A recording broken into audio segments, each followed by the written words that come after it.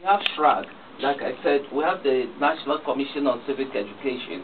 We have the, um, uh, I've mentioned the Media Commission. We have so many other constitutional commissions that should be up and doing. They should monitor these things and then take them up when they happen, either through public inquiries or through some other mechanism. Then that way we start eroding that culture of impunity. Right now, what we are discussing here is because impunity has gained root in our society and polity. So as far as I'm concerned, the responsibility is shared.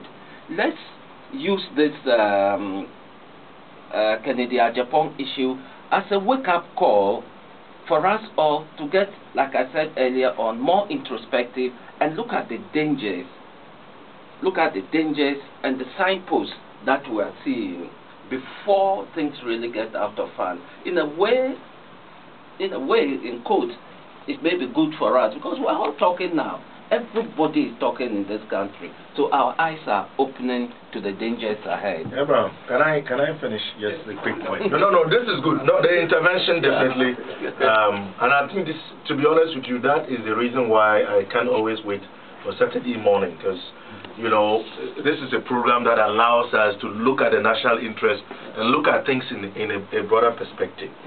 But in another case, I, I think that uh, I must build on the point that uh, Abraham, not, not you the host, but my lawyer Abraham, uh, noted earlier. You see, when one engages in a conduct that is condemnable and is condemned by society, um, we don't do that because we hate that person or dislike that person.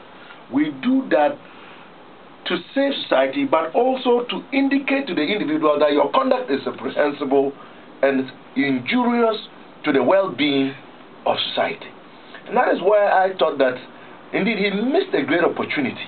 Because when I listened to him after, you know, he had been released, I was shocked. The thing that really shocked me was the fact that he was even indicating that those comments that drew widespread public condemnation could not even be attributed to him. Mm -hmm. I don't know whether you heard yeah. the, the full statement that yeah. he made. And it made me wonder, you know, what is going on? Mm -hmm. You cannot make comments like that and not be aware of your comments only in about four or three days' time. I mean, I